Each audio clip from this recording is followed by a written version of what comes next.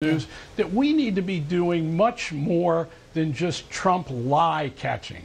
The lie catching is easy, but when Trump talks, for instance, about voter fraud, as he did in a tweet last night and warned people against fraudulent voting, we need to be doing stories about the reality of whether or not there is widespread voter fraud. Let's look at the underlying questions as reporters and present real reporting in depth that examines the underlying issues.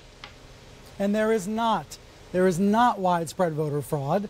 Uh, we all, I think most Americans know that, uh, and all the reporting backs up that. And yet, the president, you know, by tweeting it, what's he doing, Carl? Is he engaging in a form of voter suppression?